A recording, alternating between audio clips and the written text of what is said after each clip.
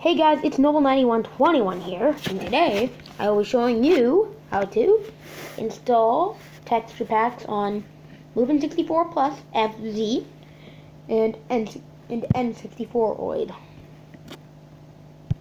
Okay, if you're going to do this on N64oid, all you gotta do is go into settings,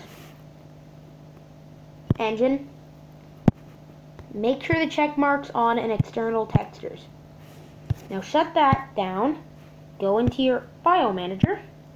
If you're on Android 6.0, oh wait, if you're on Android 6.0, uh, 6.0, what you're going to do is hit these three little dots, hit show hidden folders. You'll find N64oid in it. Now, if you have a texture pack that you got off the internet, what you want to do is go to RAR, and you will simply open up the folder that you have your download in, or you, whatever it's called. download your your game. open up your game. Now you'll just do your. Now you'll just unzip it. You'll hold down, hit extract here. It will give you a extracted texture folder most likely. Now what you will do now will be go into your download folder, like so. No wait, go to, yeah, go to your download folder where you where the new folder would be. Hit copy. You copy your thing by hitting this button up here. Now going into your N64oid folder that you need to paste your textures. This could take a while, but since I'm not actually gonna, since I don't actually have the textures on, then there. Now, method two, which will be for Mupen 64 plus FZ.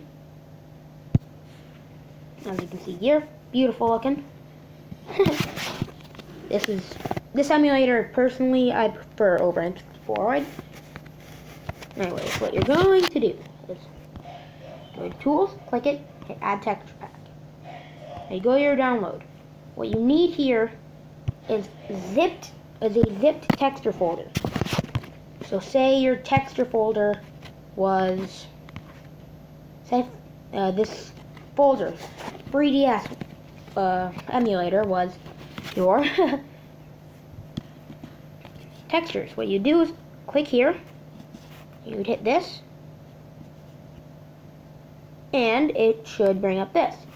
What you're gonna do is zip it with a zip file course I won't because I actually need that for my DS emulator for it to work, but now you're simply going to just go into your Mupen 64 plus FZ and hit add texture pack. To go to where you have the zip file. I actually do have one here. And to click it and hit OK. It'll extract the textures into its files and absorb them pretty much. I guess I, bad description. Hey. Anyways, afterwards, your end result. Oh wait, well, here will be your end result if you did it correctly. I did miss a step. I will go back and teach you that.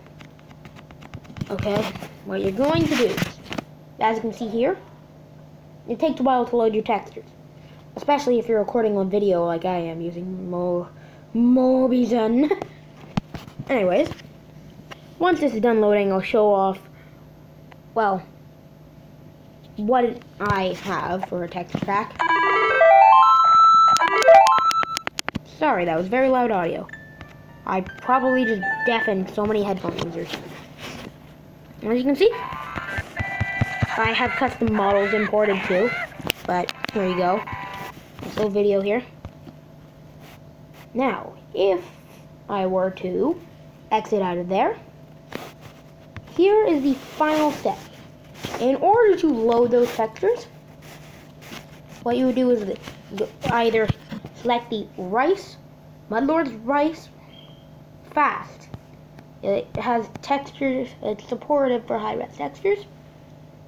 But you would also need Glide N64-GLES 2.0 if you're going to be using non like if you don't have any custom model imports, then don't use.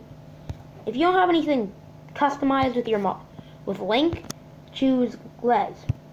But if you do have custom models, it'll invert them. So let's stick with Rice Fast. Now when you load your game, as you saw a couple minutes ago, or a couple seconds ago really, it will be wonderfully high res. Anyways, this is Noble9121, ending the video. Good night everybody.